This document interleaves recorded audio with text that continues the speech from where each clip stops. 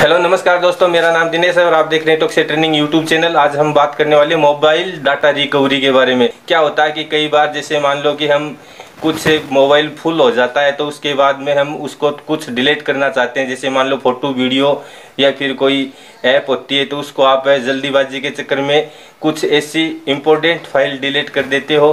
फिर आप सोचते हैं कि वो वापस कैसे रिकवरी करें। फिर आप शायद नेट पर भी सर्च करते होंगे तो ऐसी कोई आपको ऐप नहीं मिलती होगी, कि जिससे आप आसानी से अपनी खोई हुई डाटा वापस रिकवरी कर सकते हो। तो आज हम आपको बता देते हैं, अपने फ़ोन के अंदर फ़ोटो और वीडियो और ऑडियो और कोई भी रिकॉर्डिंग या फिर आपके फ़ोन के अंदर जो भी ऐप है, वो अगर आपको, आपसे गलती से अगर डिलीट हो गई है तो आप वापस उसको कैसे रिकवरी कर सकते हैं?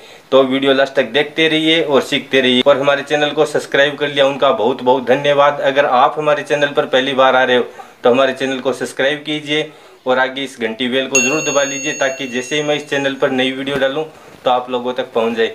तो फिर शुरू करते हैं आज की ये वीडियो।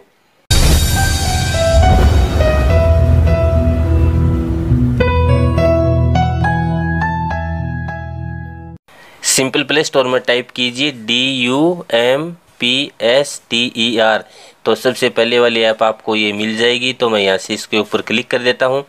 जैसे ही क्लिक करता हूँ तो आप इसके आइकन को ज़रा ध्यान से देख लेना। ये वाली ऐप है, और मैं इसको डाउनलोड कर चुका हूँ। अब आपको इसको ओपन करके दिखा देता हूँ।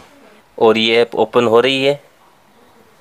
मतलब ये सारी की सारी जो आपको यहाँ पर दिख रही है, वो सारी डाटा मैंने जो डिलीट किया है, वो है यहाँ पर। चलो, इस एरो के कोड पर हम क्लिक करते हैं और कुछ इसकी सेटिंग देख लेते हैं। अभी आल है तो मतलब सब कुछ आ रहा है। आप अगर इमेज पर कर दोगे तो यहाँ पर जो ये दिखाई दे रही है, सिर्फ़ इमेज इमेज आएगी। वीडियो को सिलेक्ट करोगे तो वीडियो वीडियो आएगी। Document audio other file folder या ऐप ये इतनी चीज़ों को आप जो भी डिलीट कर दोगे तो वो आपको अलग अलग आएगी या फिर आप आल पर रहने दोगे तो सारे के सारे यहाँ पर आ जाएँगे। आप डाउनलोड कर लोगे, उसके बाद में इंस्टॉल कर लोगे ना तो उसके बाद में आपकी कोई भी अगर डिलीट फ़ाइल हो जाती है तो वो इसके अंदर आ जाती अंदर आने के बाद में आपको अगर रिकवरी करनी है तो कोई भी, जैसे मान लो ये फ़ोटो है तो मैं इसके ऊपर क्लिक करता हूँ। क्लिक करने के बाद में जो नीचे रिस्टोर है तो यहाँ से आप रिस्टोर कर सकते हो, वापस अपनी गैलरी के अंदर आ जाएगी। चाहो तो शेयर भी कर सकते हो या फिर इसको यहाँ से डिलीट भी कर सकते हो। इस तरीके से आप कोई भी डाटा को रिकवरी कर पाओगे।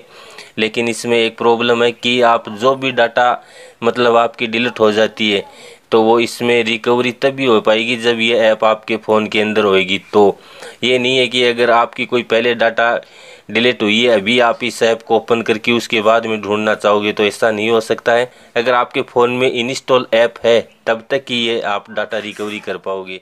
तो शायद आप समझ गए होंगे, अगर इस वीडियो से आपको थोड़ा भी फ़ायदा हुआ तो वीडियो को लाइक कीजिए। अगर आपका कोई सवाल है तो नीचे कमेंट कीजिए। और अभी तक आपने हमारे चैनल को सब्सक्राइब नहीं किया है तो यहाँ पर क्लिक करके डायरेक्ट सब्सक्राइब कर सकते हो और यहाँ पर क्लिक करके हमारी ये लेटेस्ट वीडियो आप देख सकते हो। Thank you for watching bye bye